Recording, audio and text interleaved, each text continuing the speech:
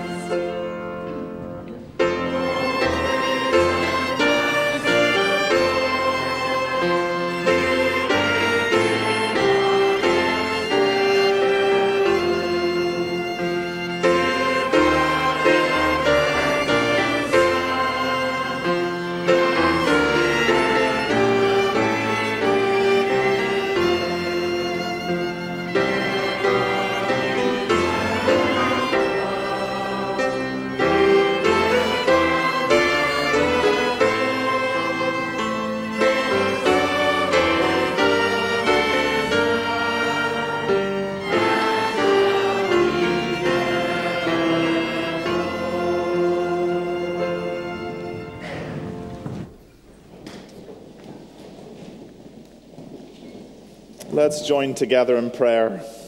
Let's pray. Lord, we come before you this morning with thankful hearts for all that you have done. as we gather together as your people, that is testimony to your great grace at work amongst us. We ask that you would give us a growing knowledge of your love for us, that we would be increasingly gripped by it, and so that you would turn us praise you. We praise you for the wonders you have done throughout history.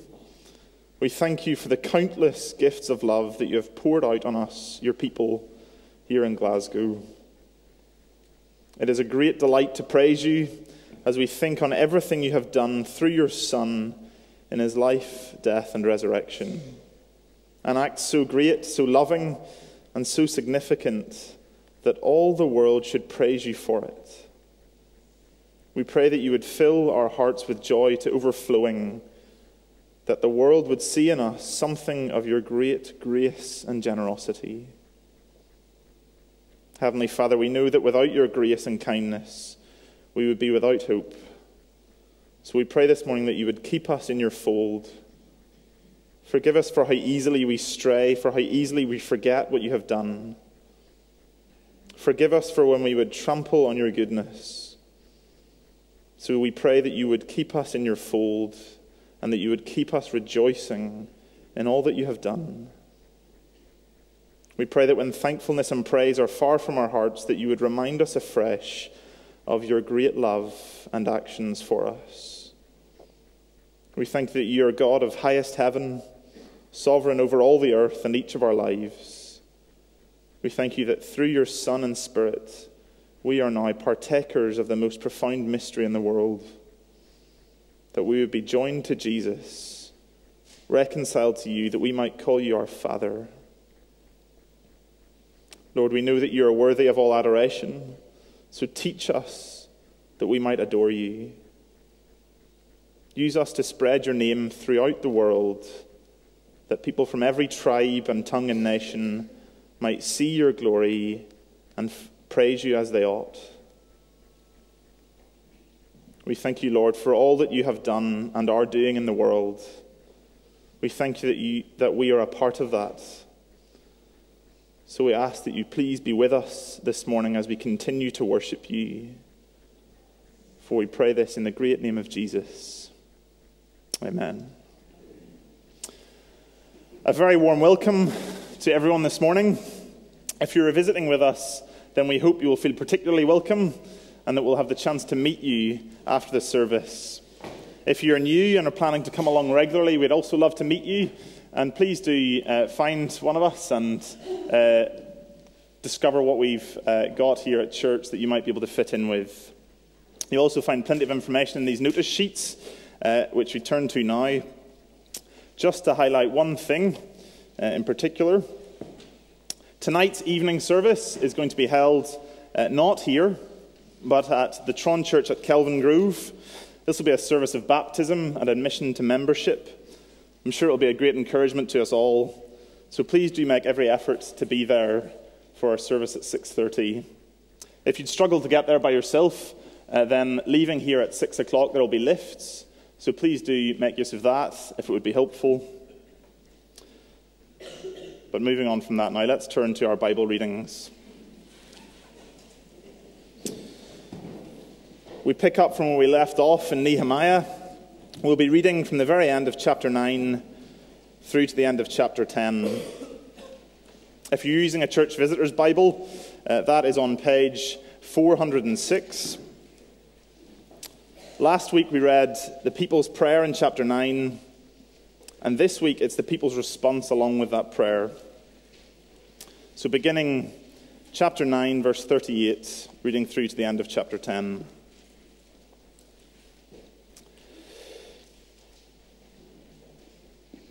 Because of all this, we make a firm covenant in writing. On the sealed document are the names of our princes, our Levites, and our priests. On the seals are the names of Nehemiah the governor, the son of Hacaliah, Zedekiah, Seraiah, Azariah, Jeremiah, Pashhur, Amariah, Malchijah, Hattush, Shebaniah, Malluch, Harim, Meremoth, Obadiah, Daniel, Ginnethon, Baruch, Meshullam, Abijah, Mijamin, Maaziah, Bilgai, Shemaiah, These are the priests. And the Levites Jeshua the son of Azaniah, Binnui of the sons of Henadad, Kadmiel and their brothers, Shebaniah, Hodiah, Kelita, Pelaiah, Hanan, Micah, Rehob, Hashabiah, Zaccur, Sherebiah, Shebaniah, Hodiah, Bani, Beninu, the chiefs of the people, Parosh, Pahath Moab, Elam, Zattu, Bani, Bunni, Azgad, Bebai, Adonijah, Bigvai, Adin, Ater, Hezekiah, Azzur, Hodiah, Hashum, Bezai, Hariph, Anathoth, Nebai, Magpiash, Meshullam, Hezir, Meshezabel, Zadok, Jaddua, Pelatiah, Hanan, ha- Anaiah, Hoshea, Hananiah, Hasshub, Hallohesh, Pilha, Shobek, Rehum, Hashabnah, Maaseiah, Ahiah, Hanan, Anan, Malluch, Harim, Baanah. The rest of the people, the priests, the Levites, the gatekeepers, the singers, the temple servants, and all who have separated themselves from the people of the lands to the law of God, their wives, their sons, their daughters, all who have knowledge and understanding, join with their brothers, their nobles, and enter into a curse and an oath to walk in God's law that was given by Moses, the servant of God, and to observe and do all the commandments of the Lord our Lord, and his rules and his statutes. We will not give our daughters to the peoples of the land, or take their daughters for our sons. And if the peoples of the land bring in goods or any grain on the Sabbath day to sell, we will not buy from them on the Sabbath or on a holy day, and we will forego the crops of the seventh year and the exaction of every debt. We will also take on ourselves the obligation to give yearly a third part of a shekel for the service of the house of our God. For the shewbread, the regular grain offering, the regular burnt offering, the Sabbaths, the new moons, the appointed feasts, the holy things, and the sin offerings to make atonement for Israel, and for all the work of the house of our God. We, the priests, the Levites, and the people, have likewise cast lots for the wood offering to bring it into the house of our God according to our fathers' houses, at times appointed, year by year, to burn on the altar of the Lord our God, as it is written in the law. We obligate ourselves to bring the first fruits of your ground and the first fruits of all fruit of every tree, year by year, to the house of the Lord.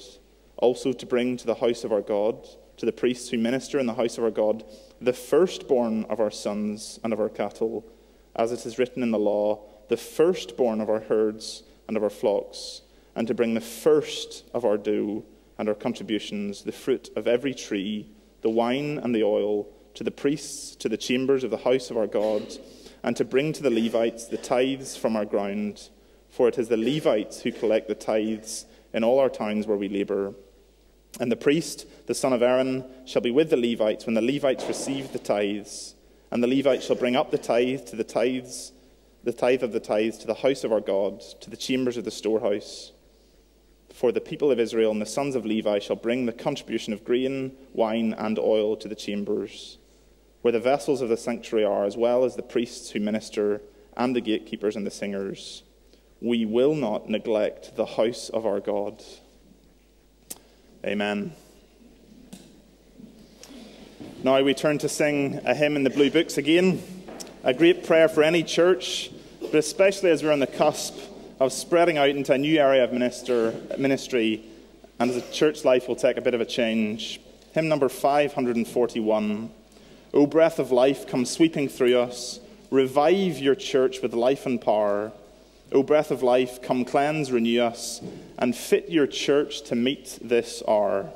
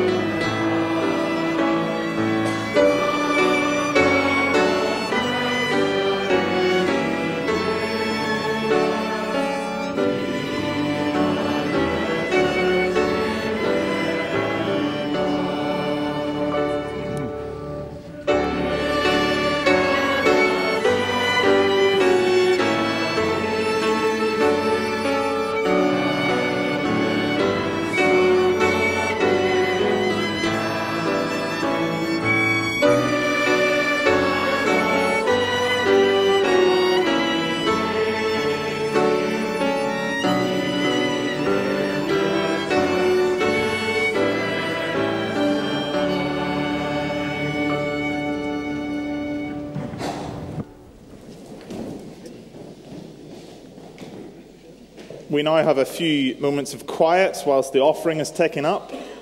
You might want to turn and read in 2 Corinthians chapter 8 and 9. It will be helpful for what Willie is going to be teaching us this morning. Or maybe you could be in prayer quietly for someone you know who's struggling whilst the offering is taken up.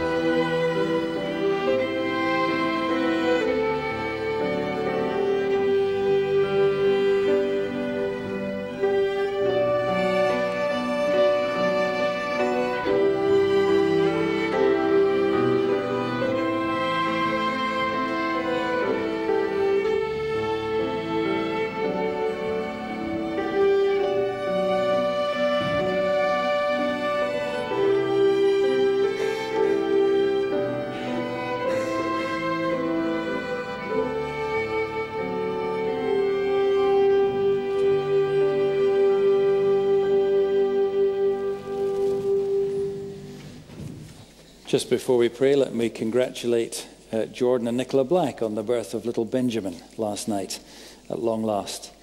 Uh, congratulations to them and all the Black family, and also congratulations to Mo Aroko, who finally got his act together and has got engaged to Amy Boardman. So, didn't have to have me chiving him along. Let's pray together.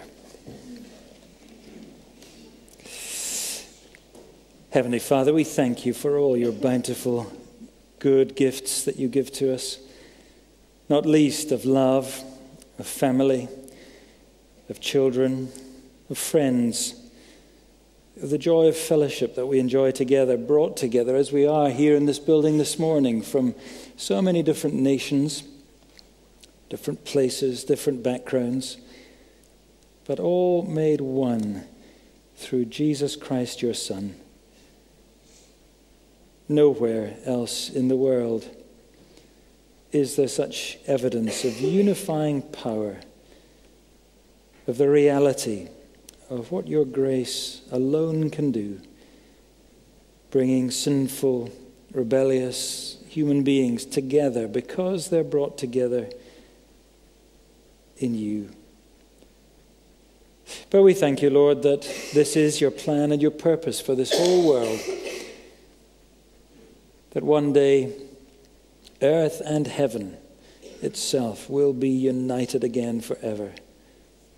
That all the heavenly host will see the wonder, the glory, the majesty, and the wisdom of our God through what you have done in saving the church of Jesus Christ, your Son.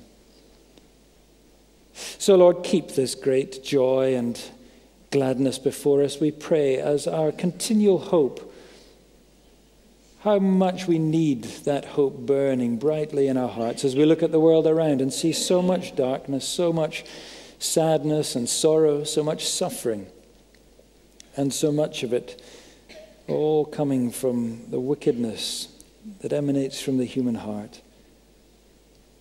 The world torn apart by conflict in so many places so many disasters that we call natural disasters, yet not natural at all, but side effects from the rapacious greed so often at work in the human race. Lord, you have opened our eyes to the light of your glorious gospel, to the wonder of your eternal kingdom. And yet, So easily, even our own hearts are drawn back, back to the things of this mere passing world. Forgive us, Lord, we pray, and turn our eyes and the eyes of our hearts afresh to you. That we might walk every day of our lives here on our pilgrimage, our exile on this earth, but looking towards the glory that is dawning even now from Emmanuel's land. Help us to be a people called out, distinct, holy, to shine forth the light of our Father in heaven, that this world might see in this, your church, the pillar and the buttress of truth, might see goodness, that which is right and true and holy and beautiful and desirable and joyful, and long for you who is the author of all of these things. Lord, we commit ourselves as a church to you at this time of change and transition. What joy we have today as we welcome so many new members to our fellowship. May tonight's service, we ask, be a time of gladness and great rejoicing. And may our confidence in the power of your gospel be strengthened. We might know just how powerful you are. And may that spur us as we begin our new meeting on the south side of the city next Sunday afternoon at Tron at Queen's Park. That we should look to you, Lord, with expectancy, with joy, with thanksgiving, longing that you would work through us to bring the gospel of Jesus Christ to more people, that many might continue to join with us in praising your name, having been changed forever through the gospel of your Son. Lord, we are weak and fearful. We have so many lacks. We look to you for everything. We know that without you we can do nothing. So help us, we pray, in all our feeble efforts. Give us strength, give us hope, give us contentment in the mere passing things of this world. Give us an eager appetite all the more for that which will last forever, the joys of your kingdom, that we might see it grow and advance here in our city, and that nothing might be more joyful to our hearts than to see Christ Jesus being placarded before the citizens of this city, and his name being honored, his word being obeyed, and his praise on the lips of more and more people in this city. So, Lord, come to us, we pray, as we come to your word this morning, seeking you and asking that you would reveal yourself to us. Humble us, we ask. Open our hearts. Enable us to hear your words of encouragement, of instruction, but yes, of challenge and also rebuke. That you might take us and hone us and shape us in the image of your Son, one who, though he was rich beyond all splendor, yet for love's sake became so poor that we might be raised to share your everlasting glory. May his Spirit inhabit ours, we pray, and drive all that we think and say and do. For we ask it for the glory of Christ and in the name of Jesus our Lord. Amen. We're going to sing before we come to God's word. Number 366 Lord, you were rich beyond all splendor, yet for love's sake became poor. Thrones for a manger did surrender, sapphire paved courts for stable floor. 366.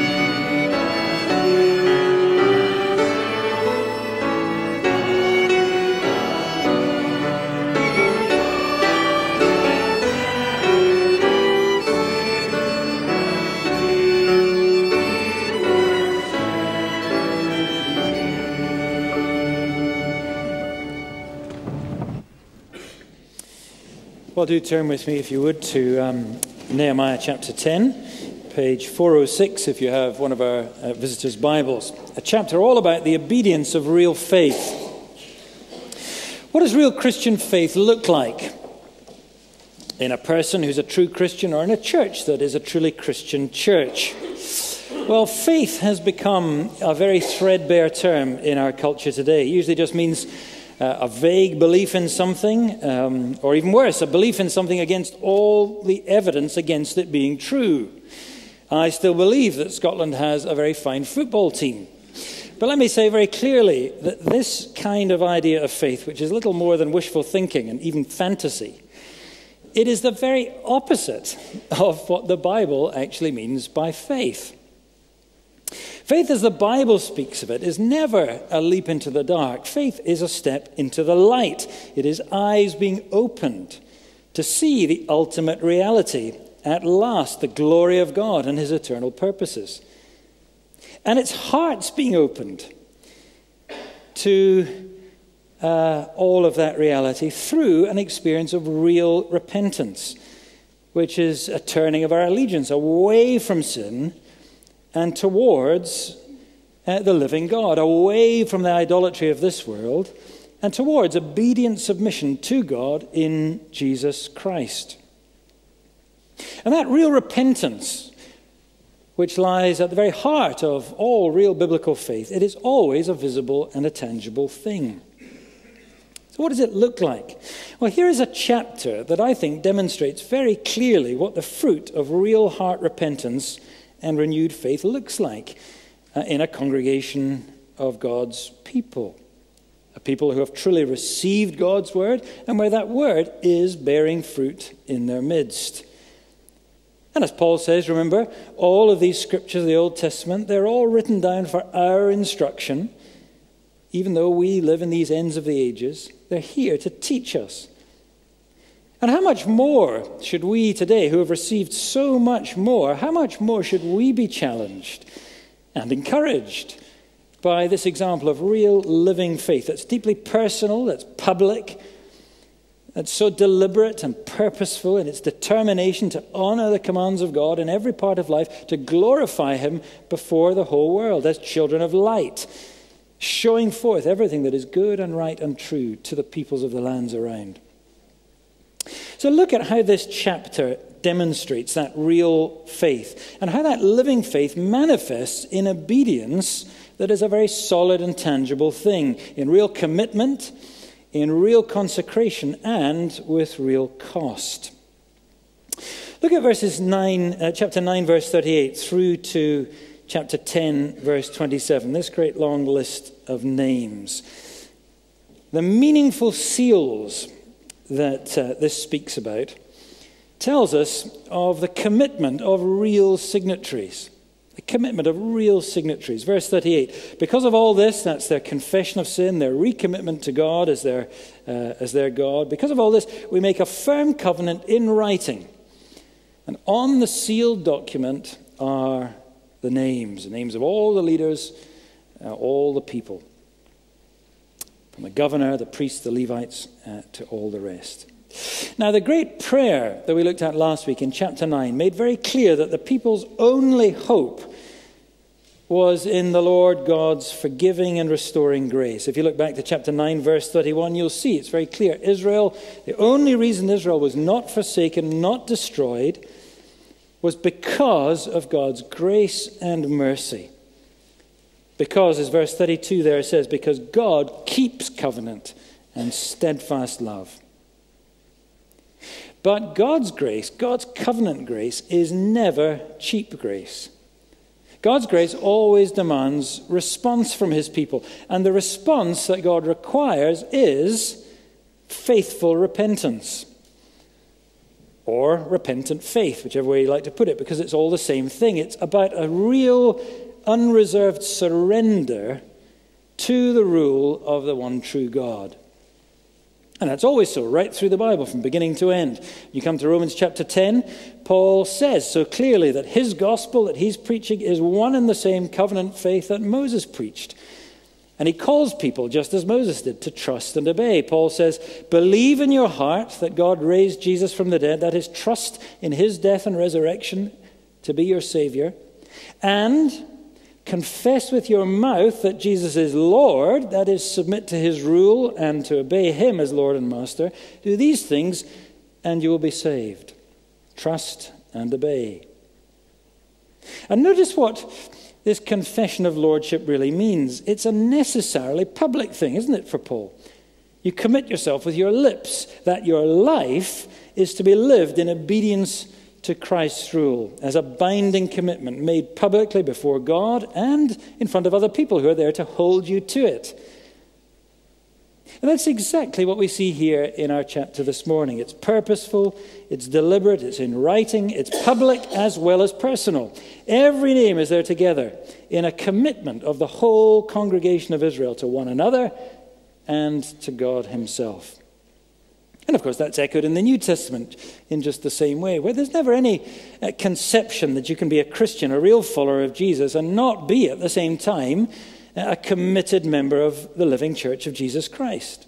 Because belonging to Jesus means uh, that you belong to his people. Loving Jesus means that you love his people. Being committed properly to Jesus means you're committed properly uh, to your brothers and sisters in Christ. And you make public commitment to the church through baptism as, as whole households become publicly committed Christian households in the New Testament. Just like here in verse 28, it's exactly the same children along with parents and so on. And that's why tonight, when we'll be, uh, uh, when we'll be welcoming new members into our fellowship, they'll be doing exactly that, won't they? Making public confession of their faith and a personal commitment to serve Christ with us in this church here, covenanting together to live under the rule of one Master, the Lord Jesus Christ, and to keep one another to that.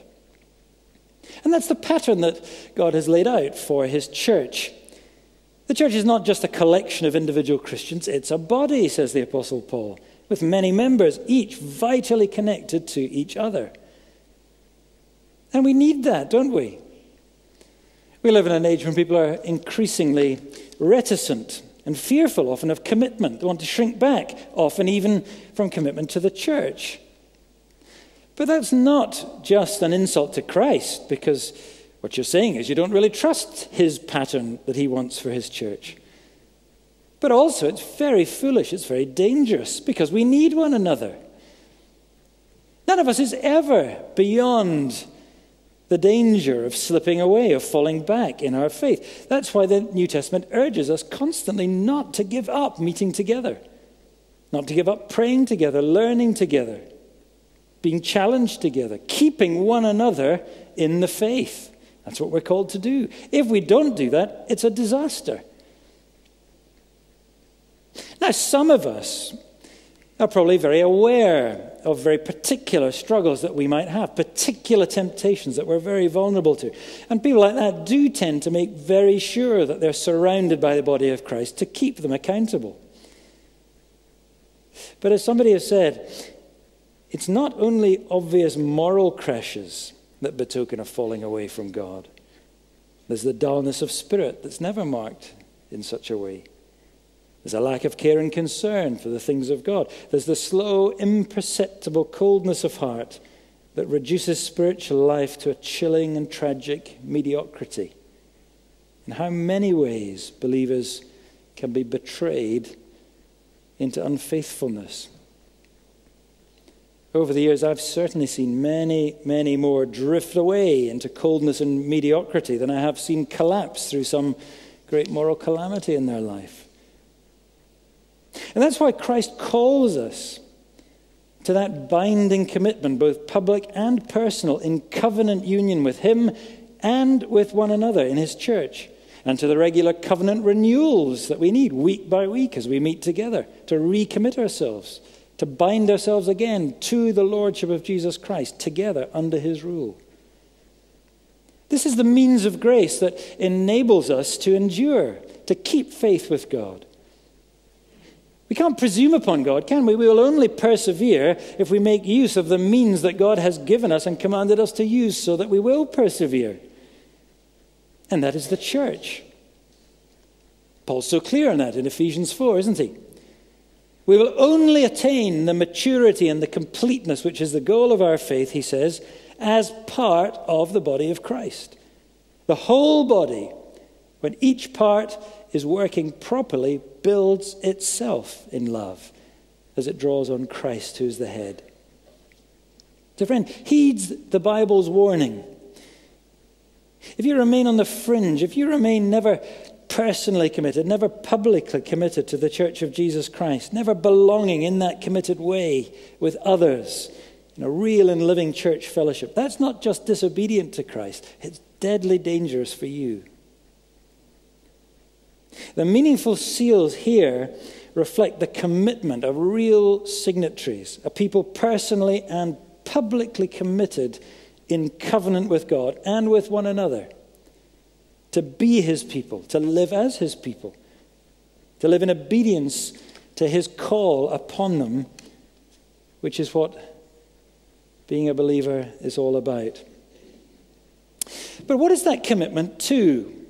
Well, verses 28 to 31 tell us. It means commitment to a meaningful separation.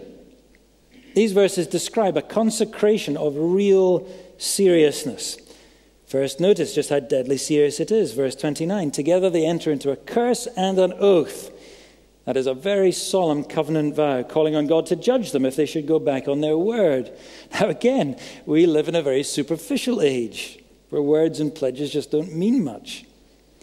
But there is nothing flippant here, is there? Nothing frivolous. These people took the living God very seriously indeed. And I think as Christians today, perhaps, we need to learn to take the living God a little more seriously than we do most of the time. I think sometimes we read the Old Testament, don't we? And we think, well, yes, but it's all different for us now, isn't it? Gentle Jesus, meek and mild. He would never make us tremble. He would never talk about curses and judgments. Friends, if that's what you think, it must be a long time since you've been reading the Gospels. Go back and read them. Almost every page is full of Jesus' own urgent warnings. Read the epistles. It is a fearful thing, says Hebrews 10, to fall into the hands of the living God. If you renege on your vow to follow Christ and thereby profane the blood of the covenant by which you're sanctified, by which you've been separated, set apart to be holy to the Lord. No, let us serve God with reverence and awe, says the apostle. To the Christian church, he's speaking as these people here were certainly doing. They covenanted themselves together with real seriousness. And they understood that they meant what they said. That they should be consecrated, that they should be set apart, separated. Verse 28 separated from the peoples of the lands. Note that phrase again in verse 30 and verse 31. And separated to the law of the Lord their God. At the heart of what it means to be God's redeemed people lies a great separation. Not a racial separation, of course. All through the Bible story, there were Gentile outsiders who were brought in and became holy along with the people of God. But this is a religious separation from all false gods, from all false religions, from all uh, pagan attitudes and cultures, to a living walk with the true and living God. That's the heart of the covenant. Listen to these words from Leviticus chapter 26. I will walk among you and will be your God, and you will be my people. I am the Lord your God who brought you out of the land of Egypt, that you should not be their slaves. And I have broken the, bar, uh, I've broken the bars of your yoke and made you walk erect. What a magnificent description of redemption. You've been redeemed from bondage, from the world of pagan idolatry, but to the life of the one true God, and therefore set apart to be his distinct and his distinctive people, shaped in every way by his commands. Verse 29 by his rules, by his statutes, so as to display in this dark world, in this fallen world, the brightness, the beauty, the grace of God, the health, the wholeness of true humanity that is being restored into his image through grace. And that must entail, mustn't it, a great separation from the culture, from the values, from the morality, from the ambitions of a world that doesn't know God and that hates God and is opposed to God. At the heart of God's covenant grace lies a great necessary negative. Leviticus 20 You shall not walk in the customs of the nations I am driving out before you, for they did all of these things, and he's talking about vile sexual practices, child sacrifice, terrible violence, exploitation. They did these things, and therefore I detested them. But I am the Lord who has separated you from the peoples. You shall be holy to me. For I, the Lord, am holy, and have separated you from these peoples that you should be mine.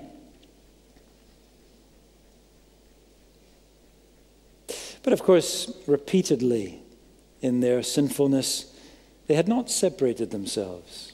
And they just acted exactly like the pagan world around them. And so eventually, God had cast them out of the land into exile. If you look back at chapter 9, verse 30, look at the language. It says, God gave them back into the hand of the peoples of the lands.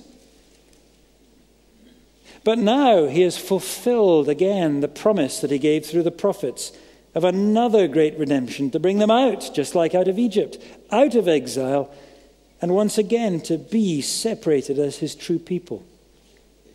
Listen to the words of the prophet Shake yourself from the dust and arise, O Jerusalem. Loose the bonds from your neck, O captive daughter of Zion. You shall be redeemed. The watchmen see the return of the Lord to Zion. The ends of the earth shall see the salvation of our God. Depart, depart, go out from there. Touch no unclean thing. Go out from the midst of her, from amidst of the people of the lands.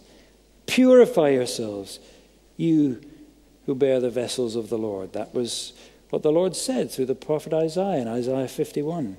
And here's the beginning of that fulfillment as the returned exiles consecrate themselves to be a people, again, set apart to the Lord their God.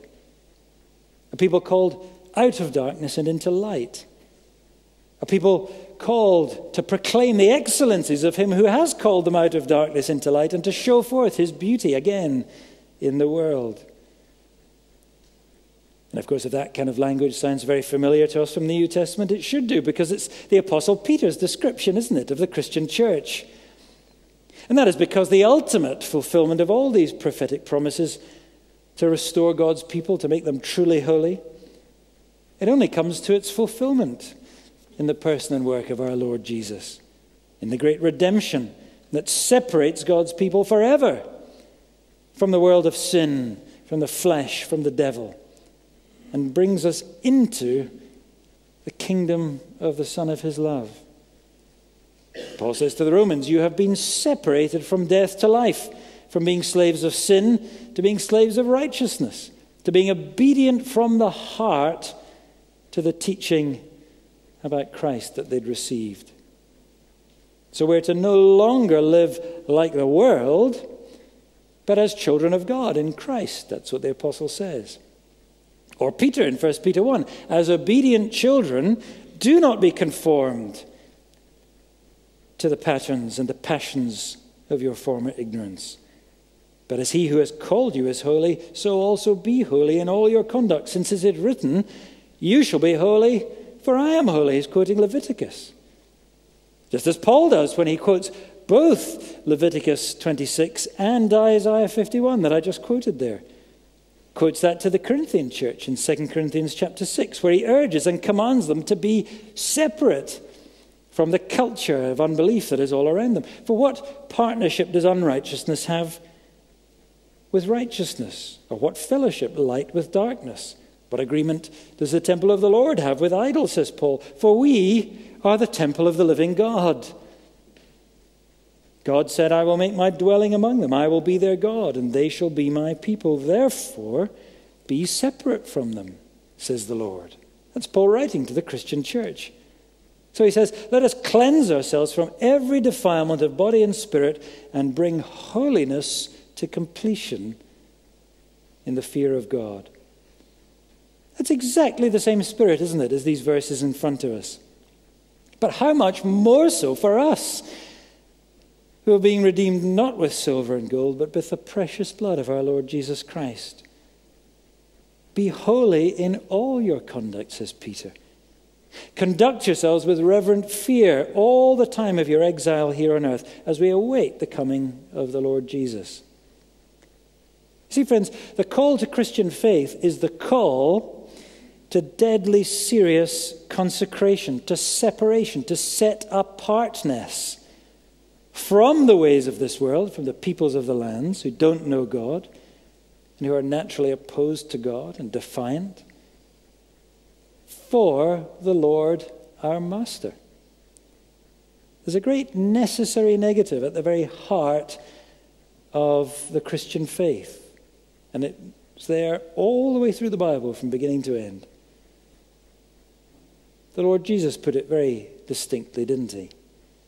If anyone would follow me, let him deny himself and take up his cross daily and come and follow me. Follow me on a road that the world despises. We need to take that seriously, don't we? Because today there's a great desire, understandably, to make the Christian message a positive message. And of course, it is the most positive good news that this world could ever, ever hear. But the gospel is also a message of bad news, isn't it? It's bad news for sin. It's bad news for sinful desires. It's bad news for, th- for sinful thinking. Bad news for sinful actions. Because it demands an end. It demands that we abandon all of that forever to follow Jesus. We take our orders no longer from the world, but from the Word of God. If you are my friend, says Jesus, you'll do what I command you. If anyone loves me, he will keep my word, not the world's word. And that'll always put us at odds with the way of this world, the peoples of the lands right about us. Look at the two things singled out here in verses 30 and 31. There's obviously contemporary issues for Nehemiah's time. There are also things that are singled out in the New Testament and are just as contemporary today. It's God's people's attitudes, which are to be radically different from the world in matters of marriage and in material matters. Verse 30 speaks about a separation to exclusively holy sexual relationships, not with the peoples of the land, or indeed not like the peoples of the lands. Now, again, the reason is not racial, but it's religious. Deuteronomy chapter 7 and many other places make it very plain. Don't go that way, says the Lord, or these partnerships will take you away from the Lord your God. That's exactly what Paul is saying in that passage I quoted from in 2 Corinthians. He goes on to say, Don't be unequally yoked with unbelievers in this area of life or in any area of life. It is the road to certain ruin. Now, you don't believe that, some of you, so let me say it again. It is the road to certain ruin of your faith, according to the Word of God. Now, Christian believers, we're different. We know that marriage and sexual relationships, and by the way, marriage and sexual relationships are, two, are one and the same thing in the Bible. It's the same way of talking about the same thing. A sexual relationship is a marriage relationship. A marriage relationship is a sexual relationship. Nothing else. But we know that that is a gift that God gives us for the service of his kingdom.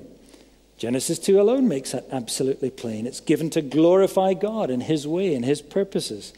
So we're never to think about these things as the world does, perversely or just selfishly. We've made the God Eros the God of our modern uh, Western culture today, haven't we? It's worshipped everywhere, constantly. And how utterly confused, how utterly corrupted our world has become in this area. In fact, increasingly absurdly so. We've now got the situation where the feminist gurus of the 60s and 70s, Germaine Greer and these others who wanted to obliterate all gender distinctions completely, they're now at loggerheads with today's advocates of gender fluidity who want to uh, exalt gender differentiation as the most important thing in the world. So important that even your mind's perception of gender can be so real that you have to mutilate your body to bring it into line with the latest idea of your mind. How extraordinary. that is. God help us. What a terrible time bomb we're storing up for the future of our children. We, we always hear these days, don't we, about mis-selling scandals. Friends, this is going to be the biggest mis-selling scandal of them all in 20, 30 years' time. Such vulnerable people, such needy people, young kids who are so easily led, so easily misled. That's what happens when we follow the world's thinking about sexuality and not God's. But no, God's people are not to think as the world does. Because we have a far better, a far healthier, a far more joyful, a more satisfying understanding of these God ordained relationships for human beings. And we must be set apart for that. As Hebrews 13 says, let marriage be held in honor by all, and let the marriage bed be undefiled, for God will judge the sexually immoral and the adulterer. And then the very next verse goes on to say this Keep your life free from the love of money. Be content with what you have, for I will never leave you nor forsake you. Now, isn't it striking that the next verse here also goes on to talk exactly about material matters? Because God's people are not to have the world's attitude to sexual gratification or the world's attitude to material gratification. And the Sabbath principle in the Bible is all about our attitude to material things.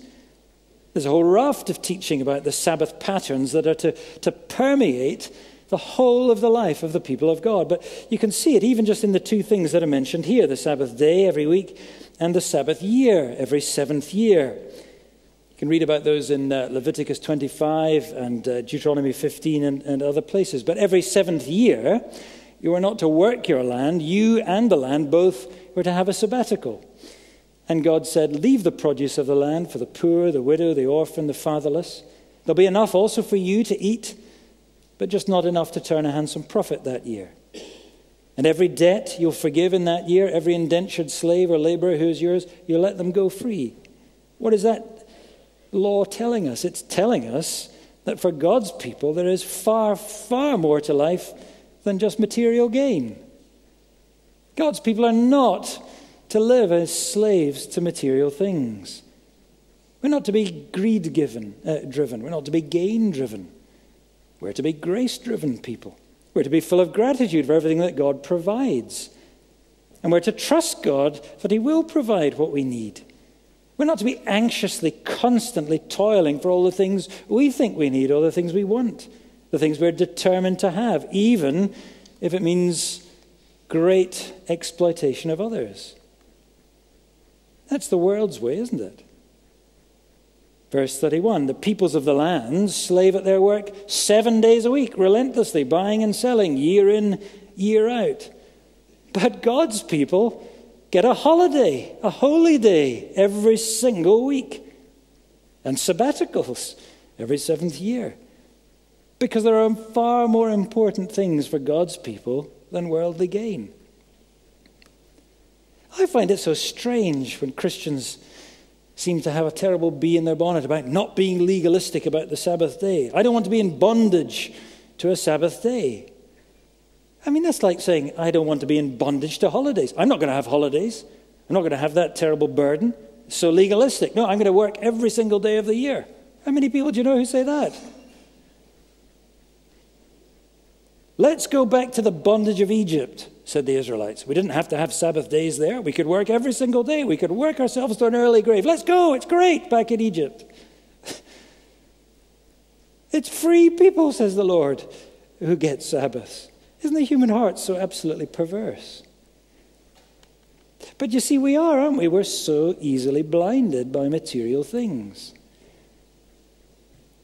And we need to ask if there is really an obvious separation, a separateness about our lives uh, as believers, a difference from the world around in this whole area of striving after material gain, chasing it as though it really were all there was in life.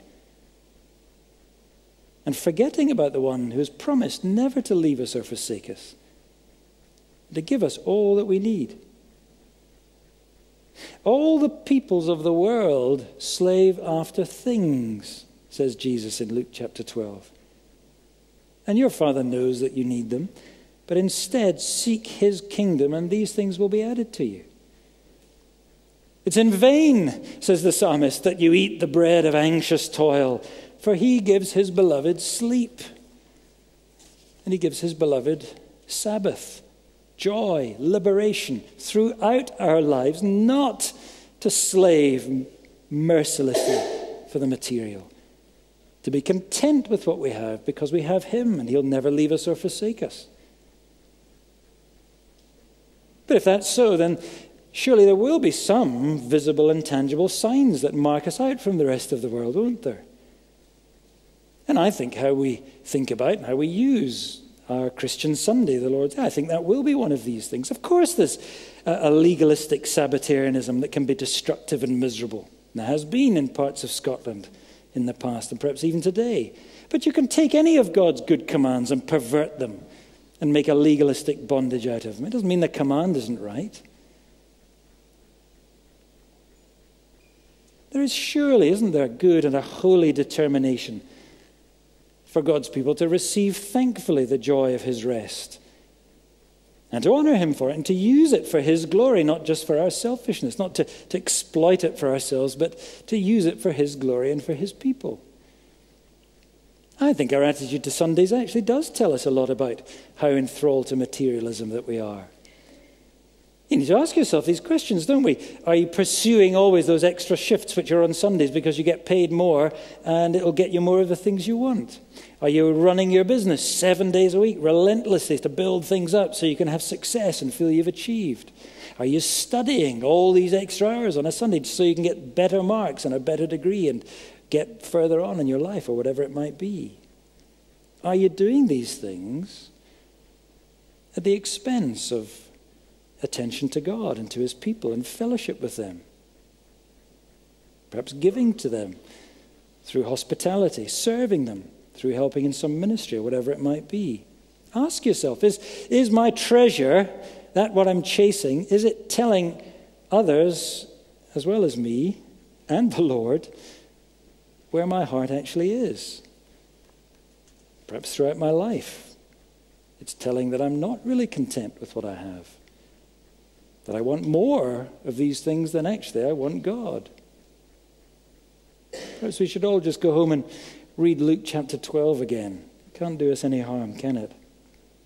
Because where there is real obedience of faith and trust in God, his people will be markedly and, and visibly different, distinct from the peoples of the land. Not least in our wholehearted embrace of God's true purpose for sexuality but also in our joyful embrace of God's liberating patterns of Sabbath that free us from bondage to the material world in every aspect of our life. Meaningful separation that speaks of a consecration of real seriousness. And there will also be, I think, as we see in verses 32 to 39, there will also be people marked by real sacrifice that speaks of the cost of the real stewardship that we have of God's kingdom.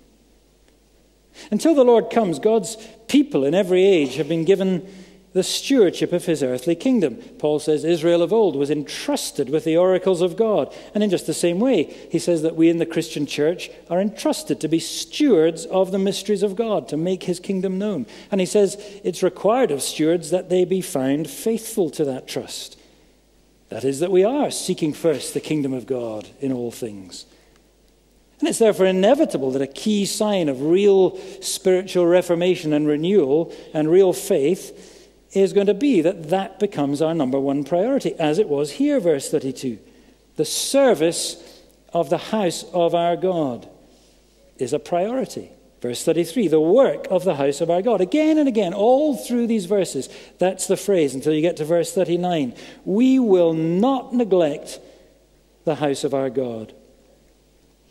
And if you look at what that meant in terms of financial outlay for these people, it was a very considerable and meaningful sacrifice, wasn't it? Because the principle described here is that which all through the Bible we get very, very clearly indeed, and that is that the first of our possessions and the best of our possessions is not for ourselves, but for the Lord our God. It's a radically different understanding, isn't it, of our material substance from the understanding of the world. And that's because God's people know that everything that we have is a gift of His grace, it all belongs to Him. And we're called to be good stewards of the varied graces that He gives us, in order that in everything God Himself should be glorified. We will not neglect the work of the house of God. That's what their spirit inspired Bible study had taught them in Nehemiah's day. And it given them renewed vigor in totally reprioritizing their spending patterns away from themselves and for the work of the kingdom of God because they become a truly worshipping people. That is real worship of God, isn't it? Not neglecting, but enabling and doing and paying for the work of God's household. In their day, of course, it was the temple. That was the one place where the living God could be encountered here on earth.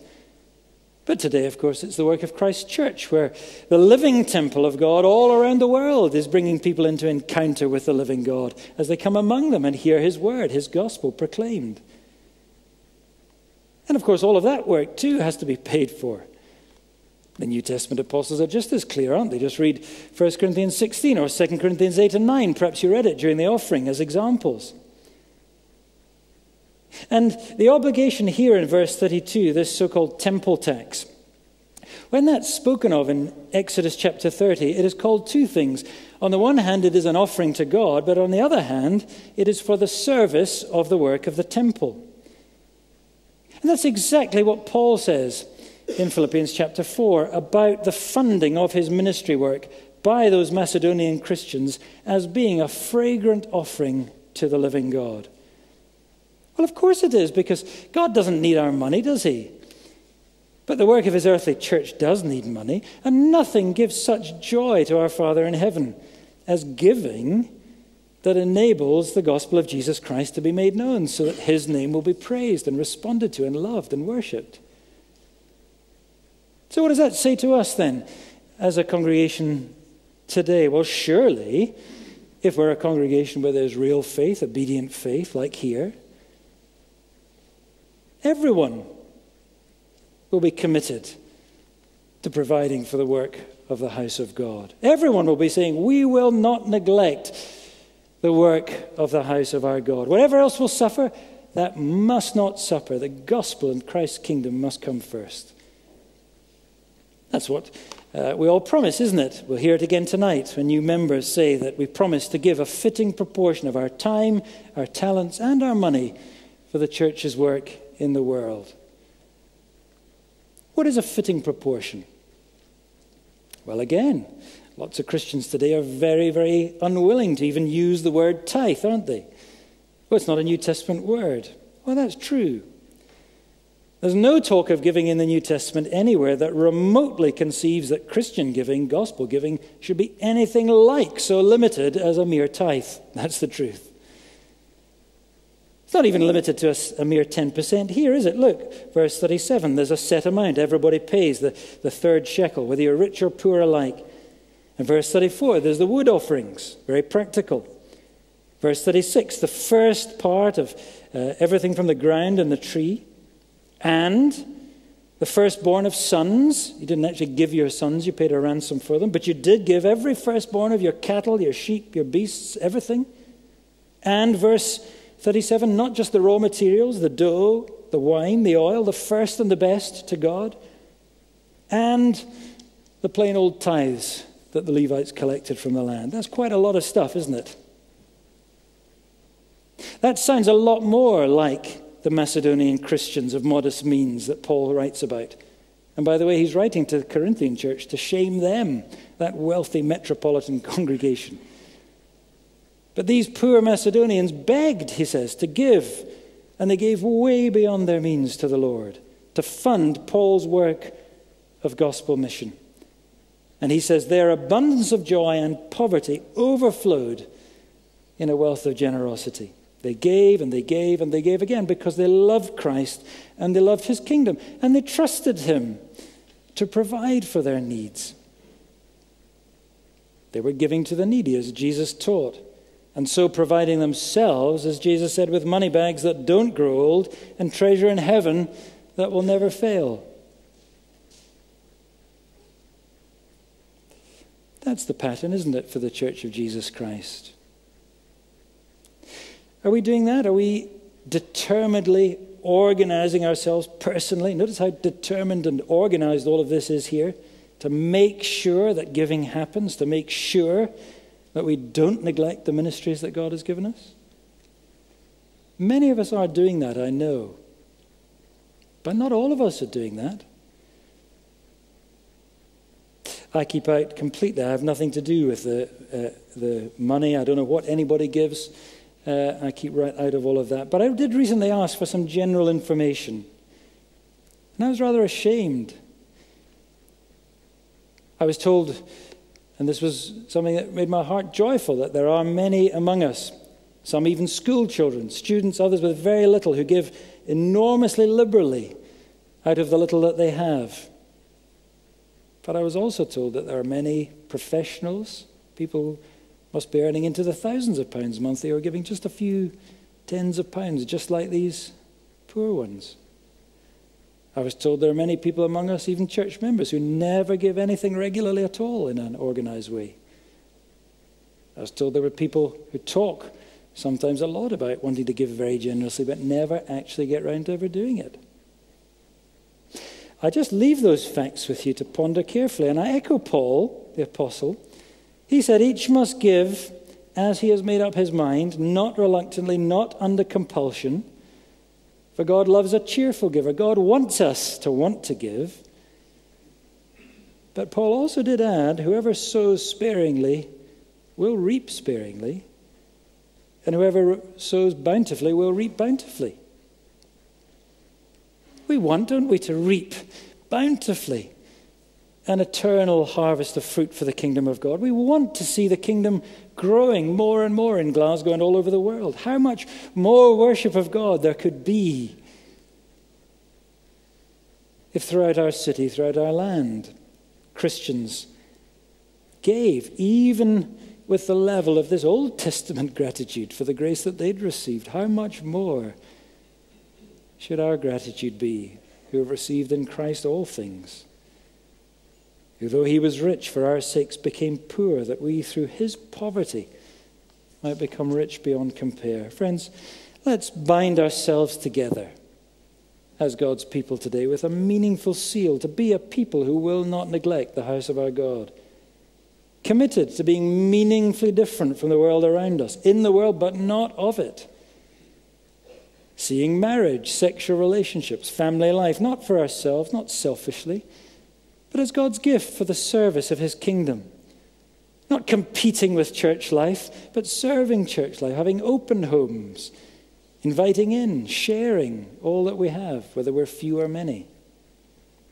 Seeing material things, all of it, in the same way, for His kingdom, rejoicing in the gifts that God gives us, the gift of His Lord's day, to use it to glorify Him and bless others. And determinedly not neglecting the financial needs of gospel ministry all over the world. Giving because we do trust God and we test that trust by actually doing it. Paul says, You will be enriched in every way for all your generosity, which will produce thanksgiving to God. Jesus says to us, Seek first the kingdom of God. And these things that you worry about so much, they'll be added to you. All that you need. And because he says that, we can say, can't we? Therefore, we will not neglect the house of our God. Let's pray together.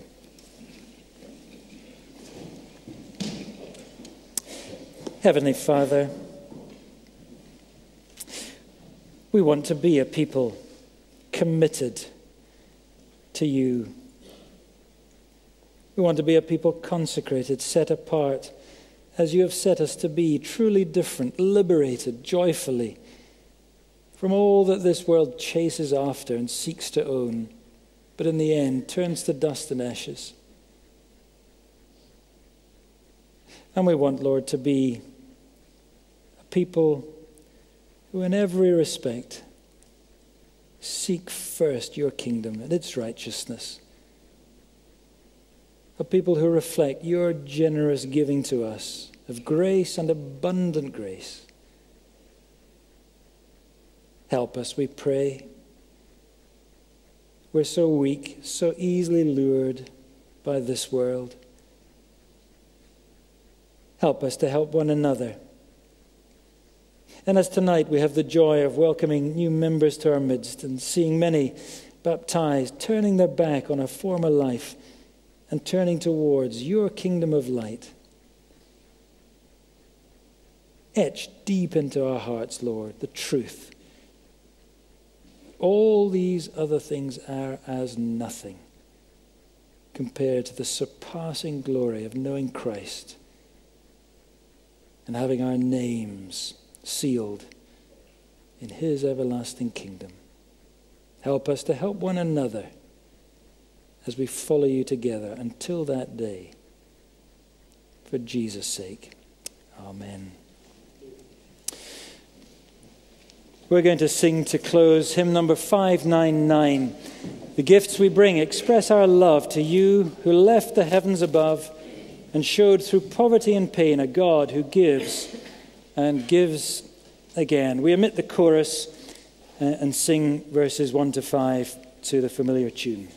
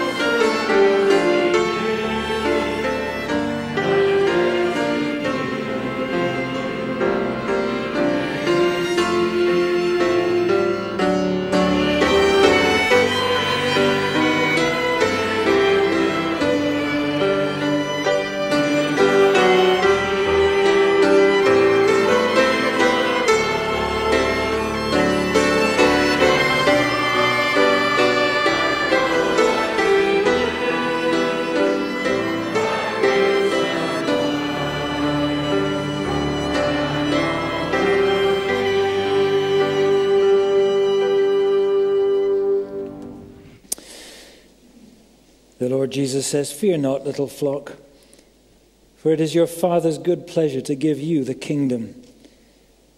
Sell your possessions and give. Provide yourselves with money bags that don't grow old, with a treasure in the heavens that does not fail, where no thief approaches and no moth destroys. For where your treasure is, there will your heart be also. Lord, may our hearts ever be fixed and fixated on our treasure in heaven, which is in Christ. And to that end, may the grace of our Lord Jesus Christ and the love of God the Father and the fellowship of the Holy Spirit be with you all, now and always. Amen.